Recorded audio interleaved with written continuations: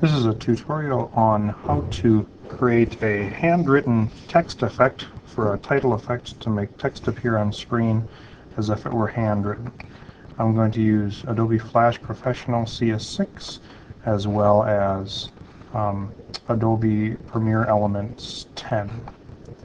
To start with, you need to create a new ActionScript file in Adobe Flash. I'm going to uh, then place some text on the screen.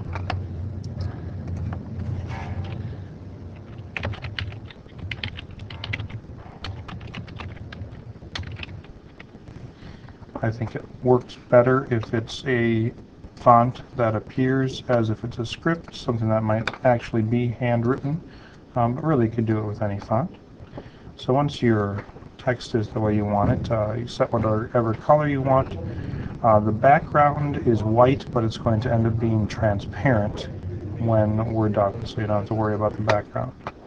After you have your text, you want to break it apart by right-clicking and clicking on Break Apart, and then break it apart a second time so that it's no longer individual letters, but it's now just shapes that can be erased. The way we're going to do this effect is we're going to erase it a frame at a time um, from the back so that when we're done we can reverse it and it'll look as if it's being drawn on the screen. To start with I'm going to grab the eraser tool and zoom in a little bit. The closer you zoom in the finer detail you can have with what you're doing. And then I'm just going to start by adding the keyframe and erasing a portion of the text. You continue on inserting keyframes and erasing, erasing portions of the text. Um, the more you erase, the more will be, or the quicker it will be drawn. So keep that in mind when you're erasing. Um, also keep in mind that you're doing it backwards. So the first thing I erased was the cross member of the T. Now I'll go back to the tail of the T and erase from there.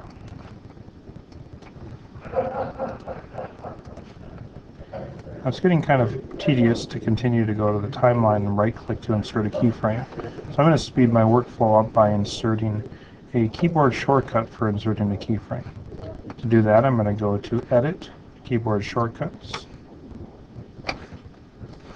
I need to make a copy of the set that we're using. I've made a couple already, so this is copy 3.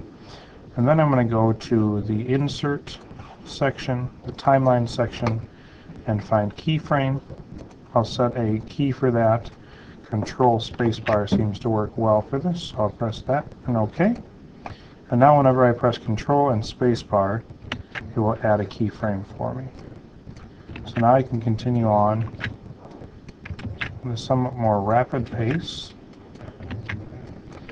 erasing little bits at a time.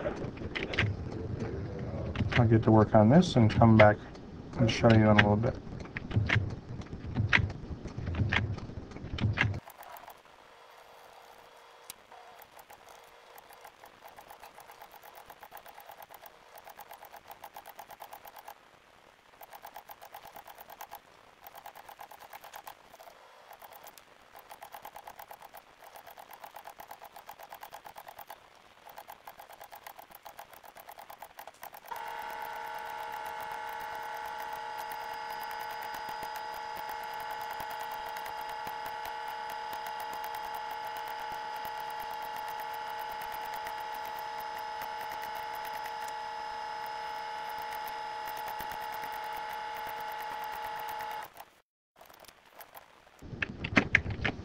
Alright, now that I'm done, what I have to do is I have to select all of the frames that I've done. So click on the last and go to the first.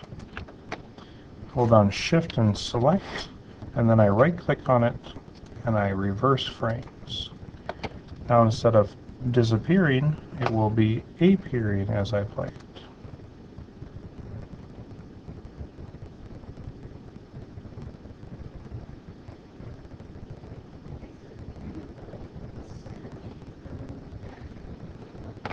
One thing I want to do is I want to add extra frames to the last frame so that I can have the text stay static on screen for a while.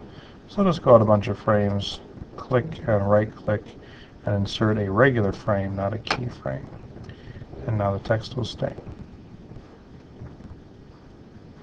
Alright, now that I'm done, I'll save it real quick.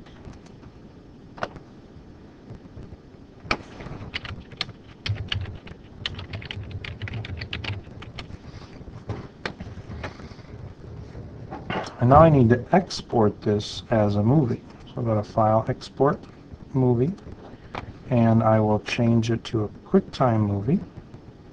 And get it in the right folder here. And when it brings up the options dialog here, I want to ignore the stage color. That will make the white background disappear. It says generate alpha channel. Press export.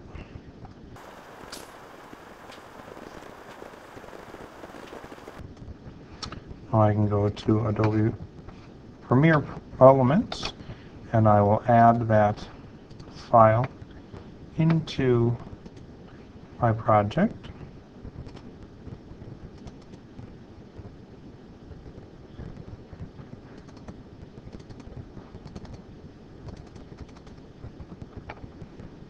If I double click on it to preview it, see that now the background is black because it's clear. It's an alpha channel.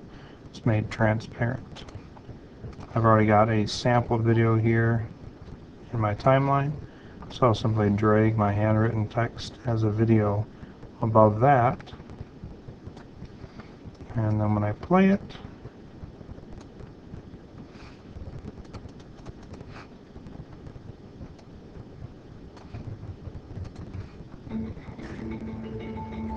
it will be appearing as if it's being written right on top.